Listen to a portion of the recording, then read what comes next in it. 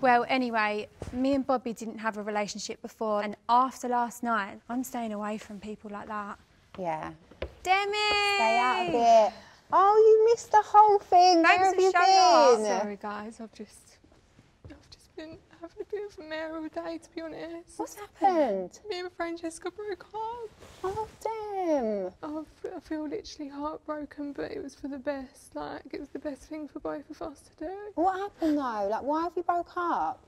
We just weren't getting on like behind closed doors, and the relationship that we was having in front of everyone else was a different relationship as what we was having when no one else was there, and it was like the spark was gone, and there was just no conversation between us, and it was just it was like getting blood out of a stone, and I just felt so unhappy. I would have given her the world if she wanted it, but just I don't know, it just didn't work. It's just really Oh, hurt me. I know.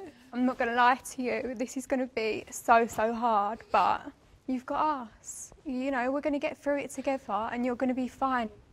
You know that you was upset in the past over other relationships, and you know that you do come out the other side. Yeah. And you two girls are so. let me just catch my breath. You two girls are so strong. Yeah, she did it, and you're going to do the same. And honestly, anyone that ends up with either of you is going to be so lucky.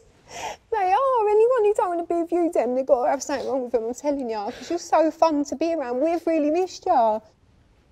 If you weren't 100% happy, yeah, you can't cover them cracks forever.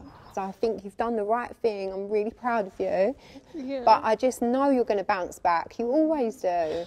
I know, but I just feel like I, it's just like every time I break up with someone, there's no like fighting for me, and it's starting to wear me down now. And I feel like I'm starting to feel like the problem. And I don't Yeah, know, Dem- it's just like chipping at me now. You're so strong, Dem. You know you'll get Yeah, through you this. are, Dem, you are. Yeah. You're a Sims, come on. I'm gonna really need you, girls. We're here, Dem. We're Of here every step of the way. Oh, girls, what would I do without you? Honestly.